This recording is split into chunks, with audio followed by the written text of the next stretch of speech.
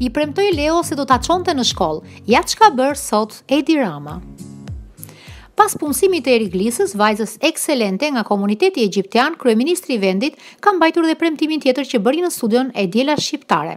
Mëngjesin e sotëm, Edi Rama ka përcjellë me taksi për në shkollë vogëlushin 9 vjeçar Leo, i cili ndodhet në një karrige me rrota.